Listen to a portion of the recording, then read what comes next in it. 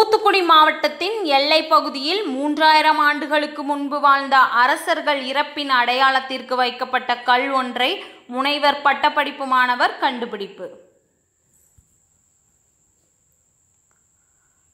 தூத்துக்குடி மாவட்டம் ஸ்ரீவைகுண்டம் தாலுகாவிற்கு உட்பட்ட உளக்குடி என்ற கிராம பகுதியில் உள்ள காட்டு மலைப்பகுதி ஒன்றில் சுமார் மூன்றாயிரம் ஆண்டுகளுக்கு முன்பு வாழ்ந்து இறந்தவர்களுக்கு அடையாளமாக வைக்கப்பட்ட குத்துக்கள் ஒன்றினை அந்த பகுதியை சேர்ந்த முனைவர் பட்டப்படிப்பு மாணவர் ஒருவர் கண்டு அதனை தொல்லியல் துறைக்கு தெரியப்படுத்தியுள்ளார்.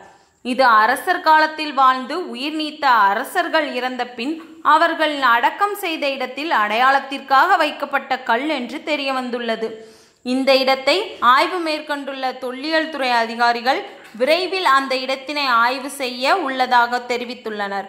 மேலும் சில பொருட்கள் கீழடியில் கிடைத்த பழங்கால பொருட்களும் இந்த உளக்குடி கிராமத்தில் கிடைத்துள்ளது என்பதும் குறிப்பிடத்தக்கது. இங்கே உளக்குடி கிராமத்தில் தூத்துக்குடி மாவட்டத்தில் குத்துக்கள் கண்டுபிடிக்கப்பட்டிருக்கு. நான் தான் கண்டுபிடிச்சேன்.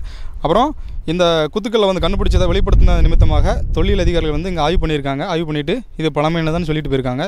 அவங்க சொன்னாலுமே விரைவில் இங்கே ஒரு அகழாய்வு மேற்கொண்டு தொன்மையான தமிழினுடைய தாமிரபரணி நாகரிகத்தை வெளிக்கொண்டு வர வேண்டும் என்பது என்னோட கோரிக்கை. அப்புறம் திருநெல்வேலி மாவட்டத்தில் அஹ், சிவலப்பரி கிராம எல்கையில் பத்துக்கும் மேற்பட்ட குத்துக்களை கண்டுபிடிச்சிருக்கேன். அதையும் ஒரு அங்கேயும் அவ- அகலாய்வு பண்ணி அதை ஒரு தமிழினுடைய தொன்மையான நாகரிகத்தை வெளிப்படுத்தணும். இது ரெண்டுமே திருநெல்வேலி தூத்துக்குடி மாவட்டம் ரெண்டு மாவட்டத்துக்குமே பெருமை சேர்க்கும் விதமாக இந்த குத்துக்கள் அமைந்துள்ளது. உலக்குடியில் கல் வட்டங்களை கண்டுபிடிச்சிருக்கேன். கல் வட்டம் இருக்குது.